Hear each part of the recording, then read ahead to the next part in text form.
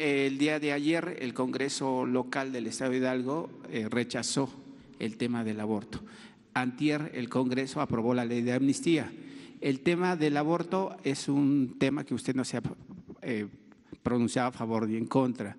Sin embargo, la ley de amnistía implícitamente, afortunadamente, ya protege a las mujeres, pues cuando puedan abortar o cuando quieran abortar y decidan o no hacer de ella de sus cuerpos. ¿Qué opinión tiene usted al respecto?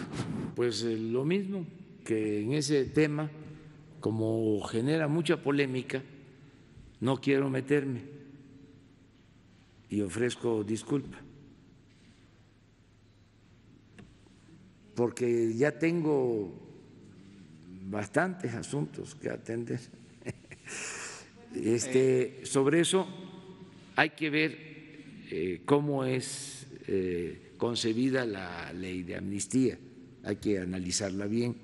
Yo le voy a pedir a la licenciada Olga Sánchez que venga aquí con ustedes y que les ponga, a ver si se puede el lunes, eh, que venga el consejero jurídico también, Julio Scherer, los dos, para informar qué contempla y así eh, tener eh, más información.